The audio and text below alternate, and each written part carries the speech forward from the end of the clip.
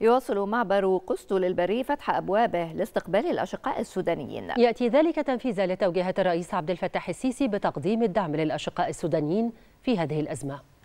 باتت هذه البوابة طوق النجاة التي يلجأ إليها السودانيون على مدار أكثر من خمسين يوما منذ بدء الاشتباكات في السودان. معبر قسطل البري الواقع على الحدود المصرية السودانية فتح أبوابه لاستقبال الأشقاء السودانيين الذين وجدوا من هذه الأرض ملاذا آمنا يعبرون من خلاله لحياة جديدة. بكل تأكيد الجميع يعلم ما يحدث في الخرطوم هذه الأيام منذ أكثر من خمسين يوم.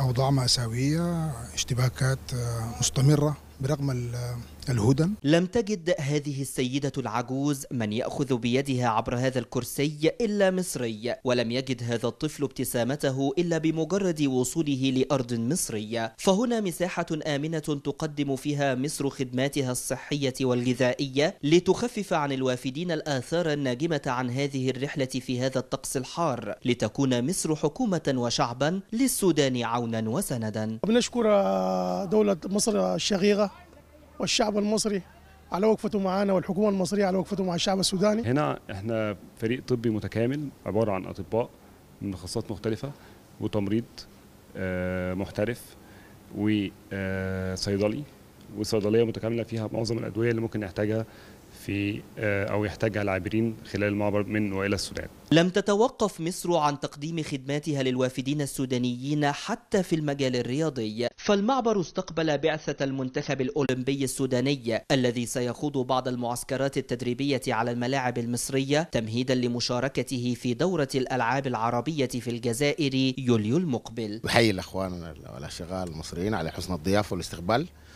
وسعة صدره طبعا الأحداث الحاصلة في السودان. وربنا إن شاء الله يجعل خير لكل السودانيين إن شاء الله ويعيد الاستقرار والأمن للسودان إن شاء الله. جهود متواصلة لاستقبال الوافدين السودانيين عبر معبري قسطل وأرقين وسط حركة تجارية متبادلة بين البلدين تنفيذا لتوجيهات الرئيس السيسي بتقديم الدعم للأشقاء السودانيين في هذه الأزمة يقال إن الأزمات تظهر معادن الرجال وهنا نزيد تظهر معادن الأشقاء فعند الشدائد تطلبهم في الحال تلقاهم ويحملون لك الخير أينما رحلت.